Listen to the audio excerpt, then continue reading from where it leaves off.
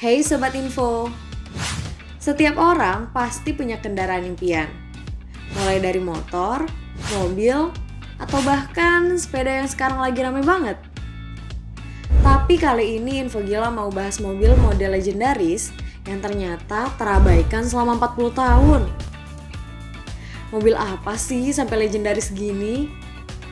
Pantengin episode ini ya. Dan jangan lupa untuk klik tombol subscribe dan aktifkan lonceng notifikasi biar kamu gak ketinggalan video terbaru dari Info Gila. Ferrari Daytona Mobil ini unik ditemukan dalam kondisi terabaikan setelah ditinggalkan selama 40 tahun.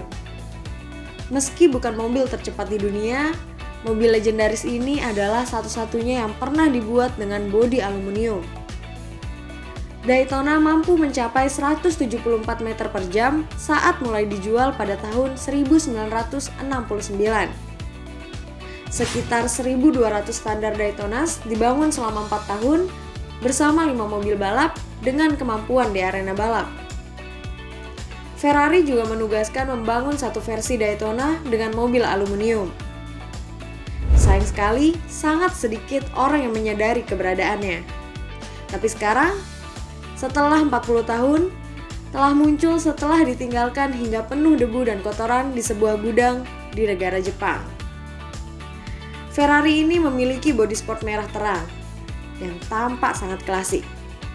Tampak lelah dan sangat membutuhkan perombakan setelah disembunyikan sejak tahun 1980.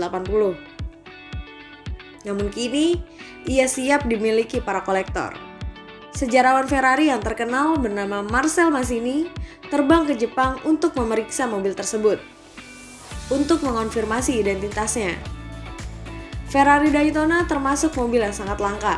Satu-satunya versi GTB 4 diproduksi dengan aluminium yang tersisa. Dan mobil ini terjual baru untuk Luciano Conti, teman dekat Commendataro Enzo Ferrari.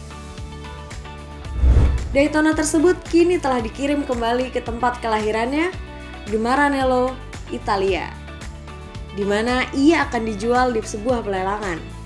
Rumah lelang memperkirakan mobil itu akan dijual sekitar 1,5 pound sterling atau kisaran 25 miliar rupiah. Wow.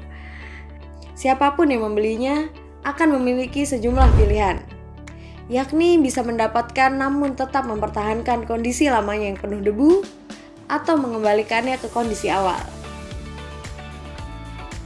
Ferrari Daytona ini digambarkan sebagai mobil unik yang tidak dimiliki kolektor lain.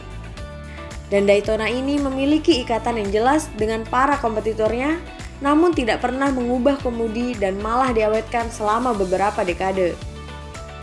Di bawah bonet Daytona adalah mesin V12 4,4 liter yang dikembangkan sekitar 350 bhp saat meninggalkan pabrik pada tahun 1969.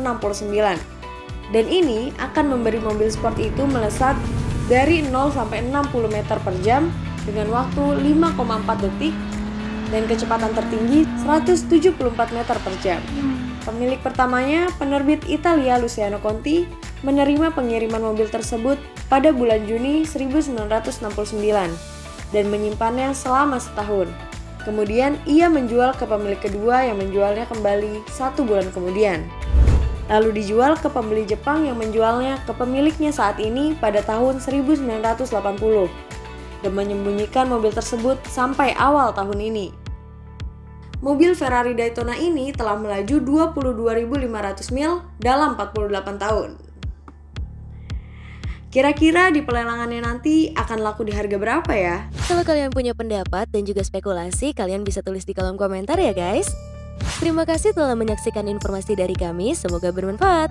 Jangan lupa juga untuk share ke teman dan keluarga kamu, agar bersama kita menambah wawasan dengan berbagi informasi bermanfaat. Sampai jumpa lagi di video selanjutnya. Bye!